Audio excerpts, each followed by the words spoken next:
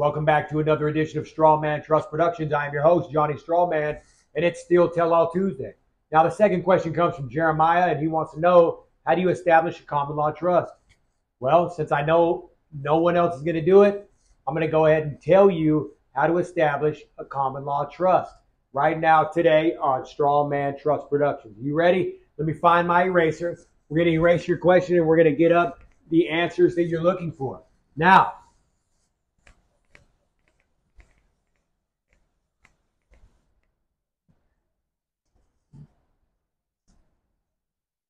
you need a declaration of trust.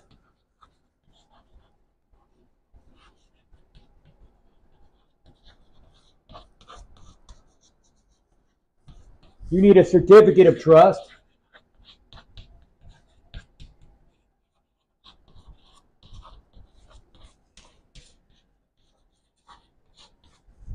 You need a deed of trust.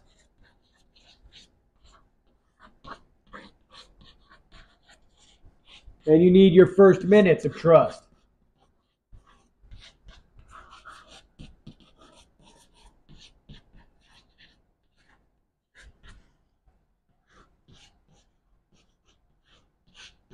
Now,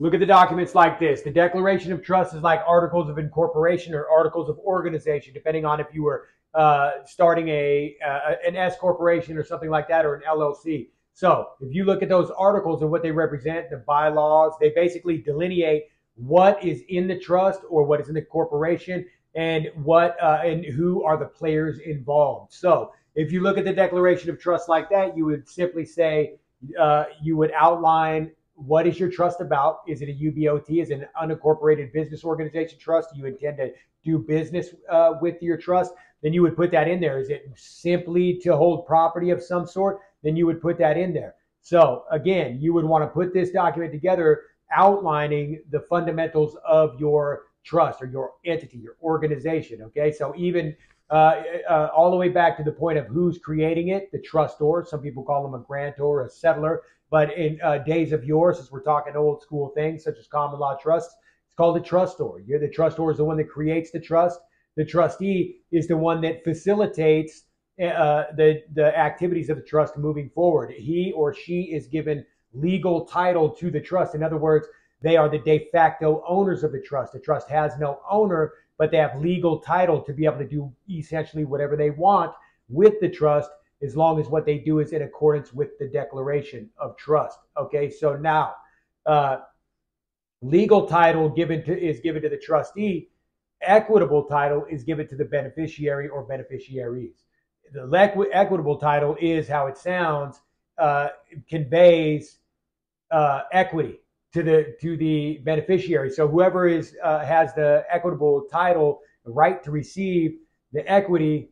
Um, that they're going to get that's what the equitable title is about and that's what's going to that's going to be set forth in, uh, those terms are going to be set forth in your declaration of trust as well excuse me got a little tongue tied there but again the trustee is going to have the legal title the trust uh, the beneficiaries are going to have the equitable title they're going to be entitled to the disbursements they're going to be entitled to any, any type of profits or anything like that that's made by the company now, a trustee can also get stipends or disbursements in accordance with whatever the declaration says that they're allowed to get uh, whatever type of uh, um, you know salary uh, it ends up being. Uh, generally, it's called a stipend again or a disbursement.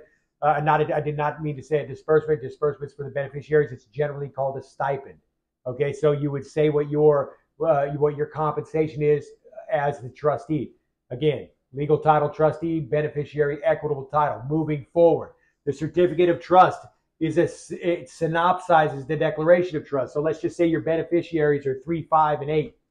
Okay, you don't want you don't want to broadcast their names. You don't want their names to be in public records and things like that. So if you go and open up a bank account, for example, you would use the certificate of trust, not the declaration of trust. The certificate of trust would say, for example, uh, eldest son of Johnny Justice Strawman. It would be beneficiary number one. Beneficiary number two would be uh, eldest uh, daughter of Johnny Justice Strawman. And then the third might be, you know, youngest uh, daughter of Johnny Justice Strawman, or, or whatever the case may be. Whereas in the Declaration of Trust, you would go ahead and set forth that the beneficiaries are little Johnny Strawman, Janie Strawman, and Tommy Strawman, whatever the case may be. Uh, so, uh, or, or Joni Strawman, or whatever. But in accordance, you would give their names in the declaration. You would only give uh, their statuses in the dec- uh, in the certificate of trust. So that's something you would use in order to transact certain business.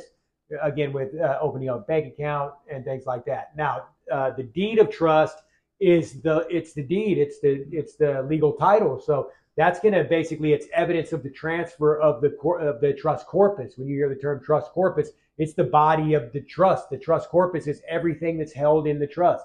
So that would be the legal title to everything that's held in the trust.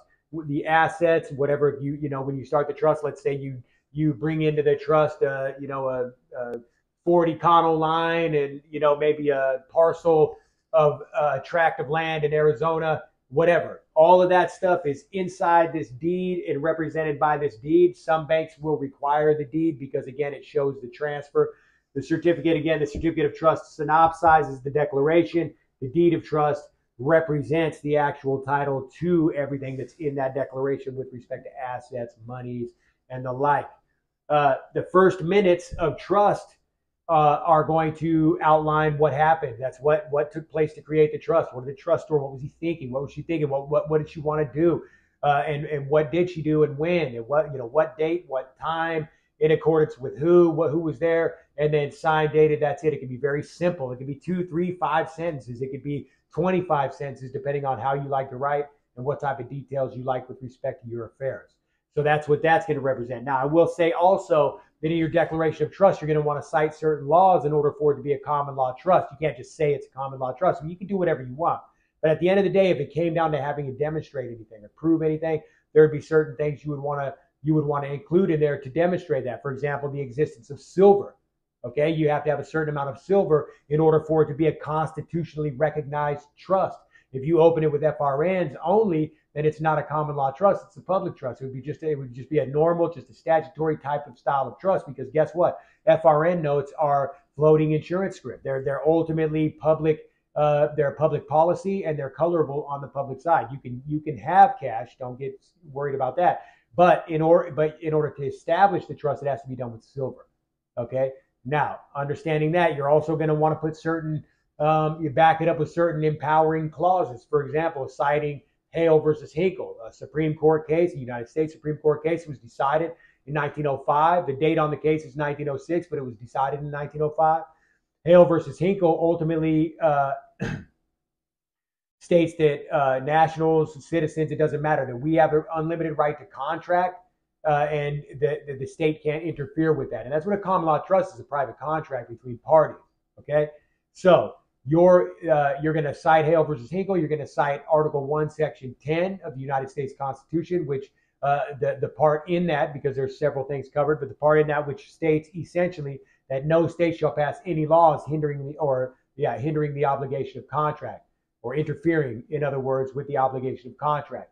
So you're going to have those two, uh, the constitutional clause and the case law in there uh, designating it as a constitutional trust, a, a private contract trust, uh, and a couple of other things as well. But as long as you have those things in there, you're good to go. These are the bare essentials, what you need to establish a common law trust. You heard it right here on Strawman Trust Productions, Tell All Tuesday first.